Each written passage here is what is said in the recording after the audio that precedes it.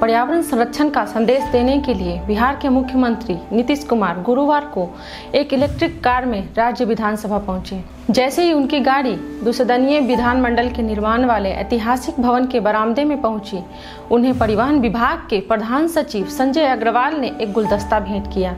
विधानसभा परिसर में जाने वाली सीढ़ियों पर चढ़ते समय नीतीश को यह कहते हुए सुना गया इस कार में यात्रा करना एक खुशी की बात है। यह लगभग ध्वनि रहित है और इसका डिज़ाइन अंदर बैठते समय बहुत आरामदायक लगता है। इस अवसर पर पत्रकारों से बात करते हुए अग्रवाल ने कहा कि टाटा मोटर्स द्वारा निर्मित इस कार को चार घंटे चार्ज करने पर 150 किलोमीटर की दूरी तय की जा सकती है।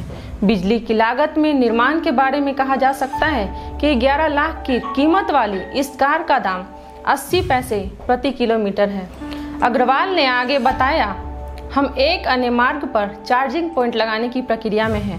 प्रमुख सचिव ने कहा, ऐसे सभी वाहनों में उनके पर्यावरण के अनुकूल प्रकृति को उजागर करने के लिए हरे रंग में नंबर प्लेट होंगी।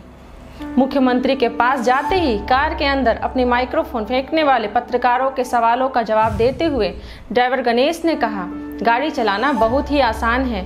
बार बार गियर बदलने की ज़रूरत नहीं है। इस महीने की शुरुआत में वित्त मंत्री निर्मला सीतारमन द्वारा पेश किए गए केंद्रीय बजट में इलेक्ट्रिक कारों की खरीद के लिए लिए गए ऋणों के ब्याज के भुगतान पर डेढ़ लाख रुपए के अतिरिक्त कर लाभ की घोषणा की गई थी।